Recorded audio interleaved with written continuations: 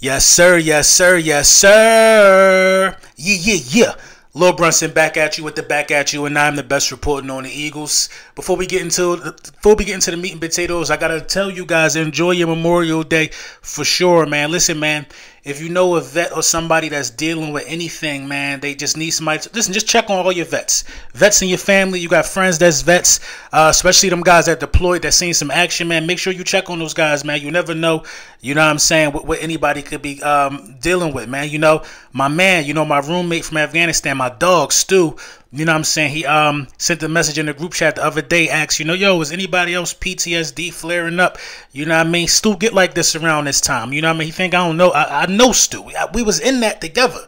You know what I mean? And you know, you just got to check on your dog sometime. You know what I mean? Let him know that you're there for him and things of that nature, man. Uh, my last deployment, man, you know what I'm saying? Um, everybody ain't come back and that's what this day is for. This day is to remember those guys to remember the heroes that gave the ultimate sacrifice. So this is what we gonna do man. We got a couple more days left in this month you know what i'm saying for um for i get the total numbers of you know the merchandise. So you know i need y'all to run it up the last two days man. We gonna donate um from this month's uh, merchandise and whatever um just to just to an organization that helps vets with ptsd that helps people um Uh, people need help. I need help sometimes too. You know what I mean? I got my ways that I get help as well. You know, I'm just trying to be able to make sure that I could do my part to help the fellow vets, man. So enjoy, man. Eat good, all of that stuff. But don't forget what this day is about, man, because it's really people that really put in some crazy work, man. I'm telling you, I done seen it.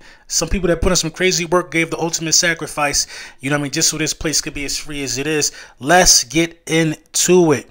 I want to talk a little bit about Jalen Hurts before we get into, you know, the main the main course of this video. I think Jalen Hurts is actually going to be better than what he was last year. And it's and it's kind of hard to, you know, fathom you know, what's the cap and what's the ceiling for Jalen Hurts? You know, it's so many things that go against quarterbacks after they get paid. Where's his mindset going to be at? Was this the ultimate objective? Was it about the money? Was it about the brand? I solely believe the Philadelphia Eagles have a quarterback that only wants to win. That only wants to win. And you've seen his message on Instagram. I'm hungrier than ever. You know what I'm saying? Um, I'm just, you, you know what I mean? I'm just lucky, man. I ain't gonna lie. I'm lucky to be a fan of the Philadelphia Eagles. I'm lucky to have decided to, you know, back the guy the way I back the guy. You know what I'm saying? The guy is worth his weight in gold to this city, man. He's just a, a determined young man. I, have talked about his throw motion from some of the clips we've seen in OTAs. He looks better, man. He looks better, and his mindset looks even better. So, with that being said, I want to say this. I want to recant one of my statements. I usually don't do that. I'm Crystal Ball Brunson. But I was scared. The D Hop talk had me a little scared, y'all. It had me a little scared because I just don't want to mess up the chemistry of how good this team is. But when you look at the quarterback and you look at the, the pieces that could be around D Hop, I think it's just going to be make the team that much more better. So listen, man, get D Hop You know what I mean? If you could get D Hop, get D Hop.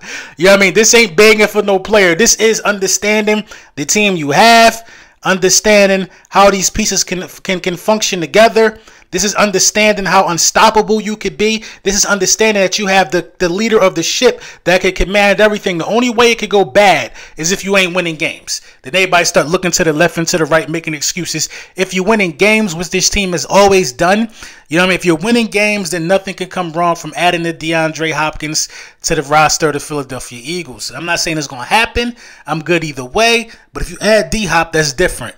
That's different, man. That's different, man. Keep that in mind. Jalen Hurts and D Hop are following each other on the gram. I don't know if it just happened, but a lot of people talking about that as well as that, you know, being being a thing right now in the sports world. They following each other, so it could get a little dark, man. So, you know, the second half of this video, I want to touch on, you know, I just want to talk about the running back situation for a while. We're going to be showing some clips of Rashad Penny. We're going to be showing some clips of D'Andre Swift. And we're just going to talk about some of the subtle differences and some of the ways that these guys can definitely impact the Philadelphia Eagles offense. Once again, enjoy Memorial Day, man. I love y'all, man. You know the vibes.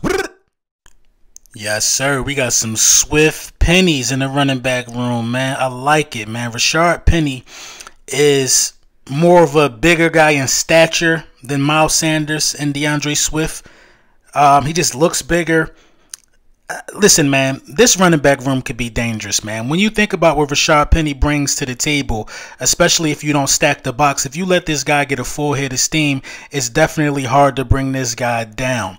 You know what I mean? Um, one thing from watching the tape I did notice is that if you catch him in the backfield early before he can get that engine rolling hot, then you know he ain't breaking too many tackles behind the line of scrimmage. But once he gets that engine rolling hot, man, I mean, the strength and the power and the ability to break away is just on full display, man.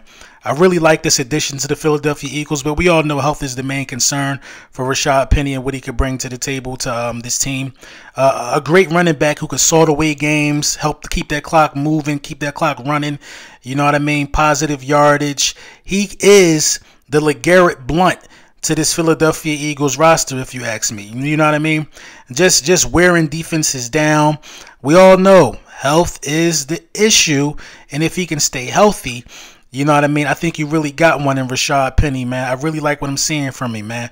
You know, teams, you you know, you know, you really can't stack the box against the Philadelphia Eagles because of the threat of the RPO, and that's what really is going to unlock, you know, the potential and the power of a guy like Rashad Penny, and not you know, not for nothing, you know, the offensive line that both of these guys are going to be running behind is just going to be next level as well, man. You know, a, a, a, bruiser back with a touch of finesse is how I would describe uh, a Rashard Penny.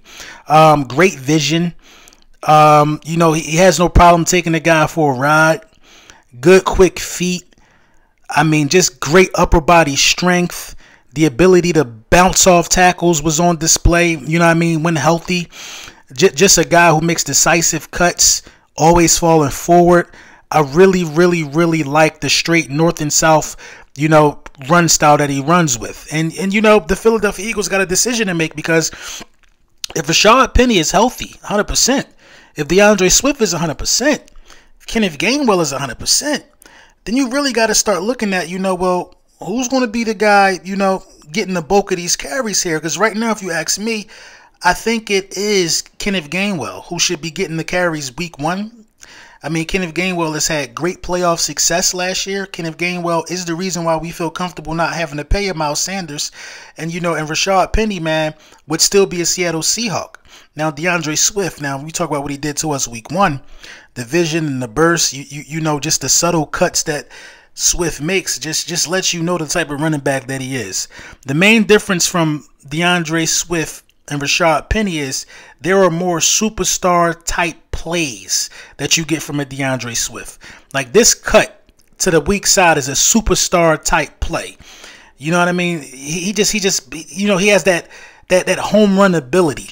I like that, but you can't sleep on the power. I think he's a more powerful guy than Miles Sanders, but the home run ability is, is what really will get us over the edge. You know what I mean? With with the uh, D'Andre Swift. This is why I think he actually, you know what I mean, not for nothing, could be extended before you even play Week One because I think the return on, on investment will just be fantastic. Here, right here, you know, this is a big thing: the ability to catch the ball out of the backfield. You know, first down on this screenplay. Miles Sanders don't give you that ability, those outlets. You know what I mean? And, and if I believe correctly, I think somebody might have broke through the line of scrimmage and just forced him to get that ball out hot. You know what I mean? Yeah, they were bearing down on well, that's the play design. But listen, man, that that's an added dimension to this offense that we didn't have last year. And right here, man, another superstar play. Catch the ball, fall, gets up, touchdown. What are we talking about here? What are we talking about here? The running back room set, man. It's set.